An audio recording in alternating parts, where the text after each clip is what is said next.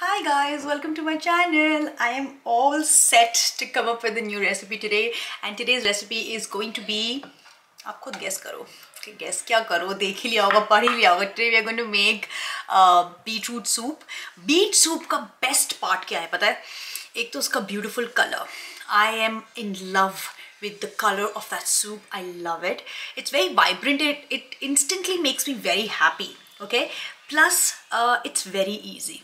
I think जो भी recipe मैं डालती हूँ उसमें मैं ये बोलती हूँ कुछ नहीं करना है बहुत ईजी है बट ये जेनुअनली बहुत ज़्यादा ईजी है trust me on that you don't need lot of ingredients we have got some beetroot and carrot we are going to use some हरा प्याज ginger garlic that's about it that's about it pretty much it थोड़ा सा seasoning बस so uh, yeah let's and one more thing one more thing I am very proud of myself that I am finally being consistent on YouTube because it gets very difficult.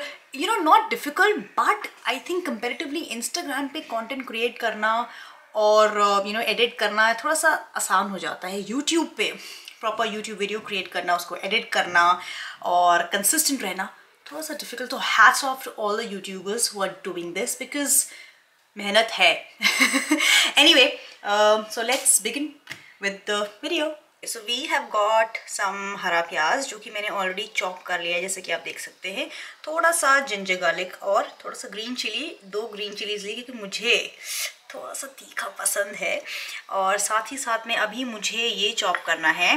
This is beet root मैं तीन छोटे छोटे beet root ले रही हूँ। इनको हम chop करके साइड में रखेंगे। और एक गाजर एक्चुअली गाजर ना मुझे बहुत ज़्यादा पसंद नहीं है अपने सूप में क्योंकि सूप को मीठा कर देता है।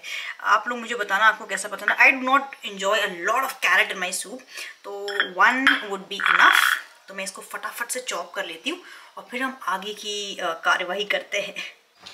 Okay so I am just quickly going to chop everything वैसे ज़्यादा कुछ है नहीं चॉप करने का इसमें। जैसे मैंने बताया था, आपको बहुत ही सिंपल बेसिक ईजी डिलिशियस और हेल्दी रेसिपी है। बीट रूट को पहले बचपन में पता नहीं आप लोगों ने किया है कि नहीं किया है इसको हम ऐसे काटते थे है ना? जैसे मम्मी लोग बचपन में तो हम इतना नाइफ क्या क्या इस्तेमाल करते थे मम्मी लोग काटते थे। और उसको ऐसे करके ये ऐसे ये। I am sorry I am being very weird right now but but we use to do this beetroot का लिपस्टिक वगैरह बना के बचपन में बहुत कुछ करते थे। एनी anyway, ऑलमोस्ट चॉप हो गया है। तीन बीटरूट, एक गाजर। आपको थोड़ा सा और स्वीट स्वीट सा पसंद है तो गाजर की क्वांटिटी आप बढ़ा सकते हैं। मुझे इतना कुछ खास नहीं पसंद है तो मैं नहीं। और स्कैलियन डालना इस रेसिपी में है बहुत ज़रूरी, है ना? हरे प्याज का जो टेस्ट है, वो बहुत इन्हेंस करते हैं सूप को। तो मेक श्योर आप ये डालें ओके तो मैं इसको क्लीन करती हूँ। फिर चलते हैं इसे कुक करने के लिए। अच्छा इसमें हमने डाला थोड़ा सा ऑयल वेरी लिटल ज़रूरत नहीं होती ज़्यादा, ठीक है? ऑयल या घी कुछ भी आप ऐड कर सकते हैं। थोड़ा गर्म हो जाएगा, फिर हम इसमें डालेंगे अपना जिंजर गार्लिक ग्रीन चिली आप चाहें तो जीरा भी डाल सकते हैं।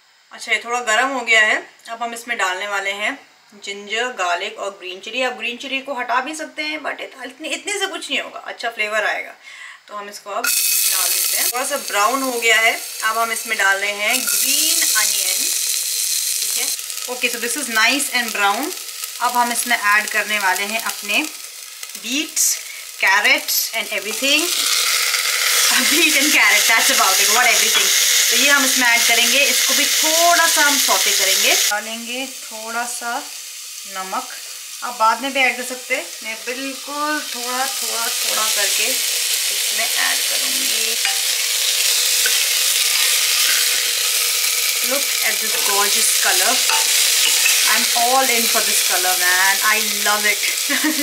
ये कलर देख के ना मेरा दिल खुश है सब्ज़ियाँ देख के ना मेरा दिल गार्डन गार्डन हो जाता है। And I am not joking it is absolutely true. You can ask anyone. I am obsessed with fruits and vegetables. अच्छा इसको बहुत ज़्यादा देर तक आपको इसमें पकाना नहीं है बिकॉज़ हम इसको सीटी दे के यू नो तीन चार सीटी में प्रेशर कुक भी करेंगे। तो बहुत ज़्यादा सौते नहीं करना है। थोड़ी देर मैंने इसको दो तीन मिनट ढक दिया था। अब हम डालेंगे इसमें थोड़ा सा पानी ओके? अब हम डालते हैं पानी। रुको।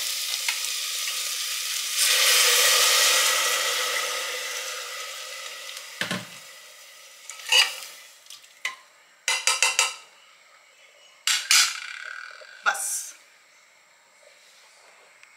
so, दोस्तों मैं कैमरा के बहुत पास आ चुकी हूँ ओके सो सीटियाँ आ चुकी हैं, तीन सीटी आई थी, ठीक है? एंड बस मैं इसका वेट कर रही हूँ कि जब मैं कुकर खोलूँ और उसके बाद हम लोग क्या करेंगे, जो वेजिटेबल्स है, उसको ब्लेंड कर लेंगे। पानी को हम अलग रखेंगे थोड़ा सा वो बाद में ऐड करेंगे, पहले वेजिटेबल्स ब्लेंड हो जाएँगे और जो ब्लेंडेड जो पेस्ट है, उसको फिर हम थोड़ा सा सौते करेंगे और कुछ सीजनिंग वगैरह हम फिर ऐड करेंगे ओके तो बस ये हो, फिर आगे का स्टेप्स करते हैं। एम वेटिंग करोगे।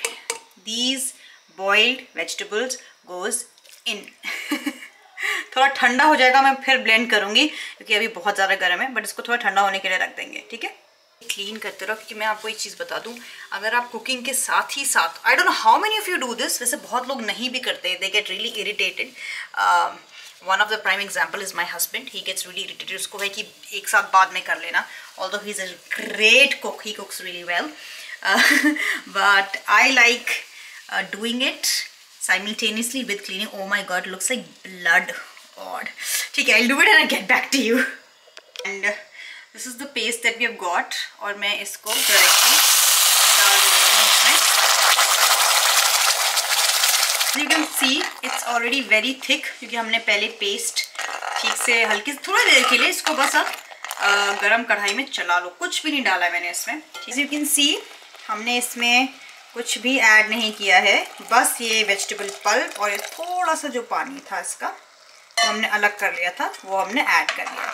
देखो, इसमें हमने कोई भी थिकनिंग एजेंट का इस्तेमाल नहीं किया है। जैसे कि इस बार तो हमने आटा और what you call it ragi anything we did not use any of that and look at how thick it is looks very creamy also also you can add little bit of malai if you want fresh cream if you want to make it little no extra creamy but हमने इसमें कुछ add नहीं किया and look at how thick it is अच्छा इसमें I am going to add little bit more water क्योंकि ये consistency बहुत ज़्यादा थिक हो गई है। थोड़ा सा पानी और ऐड करेंगे और इसमें अब सीजनिंग ऐड करने का भी टाइम आ गया है। More वाटर बिकॉज़ ये बहुत ज़्यादा थिक हो गया था। And see beautiful consistency add करेंगे हम थोड़ा सा पेपर मैं थोड़ा ज़्यादा ही ऐड कर रही हूँ बिकॉज़ हमने इसमें और कोई मसाले नहीं डाले, ठीक है? तो ये पेपर हो गया। थोड़ा सा हम इसमें सॉल्ट और ऐड करेंगे, क्योंकि वो थोड़ा कम है। थोड़ा सा आप चाहें तो बटर ऐड कर सकते हैं इसमें। Okay now is the time to add some fresh basil on top ये क्रश करके मैंने डाल दिया है। इसकी खुशबू बहुत अच्छी आती है, बहुत ज़्यादा अच्छी। और एक अलग सा फ्लेवर भी ऐड करेगा। If you don't have it you can also use mint leaves trust me या फिर मिंट पाउडर मिंट और ये बहुत अच्छा I am already drooling by the way anyway so yes ये ऑलमोस्ट अब रेडी हो गया है। अब हम करेंगे गैस को ऑफ़ और इसको हम करेंगे सर्व ब्यूटीफुल सी लीफ हमने इसमें डाल दिया है. Just for presentation look at this beautiful colour oh my god मैं तो कलर से ही मतलब इतना ज़्यादा खुश हो जाती हूँ I can't wait to dig in also I am gonna add a little bit of butter on top because जैसे कि आपने नोटिस किया होगा, इसमें घी, तेल कुछ इस्तेमाल हुआ ही नहीं है. Like very very little half a teaspoon in the complete recipe so I am gonna add a little bit of butter and I'm not explaining I'm just telling you that you can add and enhance the flavor and taste इसमें मैं थोड़ी सी पत्ती डालती हूँ and uh, फिर taste करते हैं test time hmm okay so uh, I've added a little bit of butter on top and it tastes so good without like इसमें जो ingredients है ना कुछ है ही नहीं। पाँच छः जो आपको दिखाया था, वही इंग्रेडिएंट्स है just salt and pepper that's about you can also add some lemon for the tanginess but it taste absolutely amazing without any extra okay before my soup gets cold I am just gotta finish it off and you know the drill if you like my video, if you try out these recipes, please do share, like, subscribe to my channel. And see you next time. Bye bye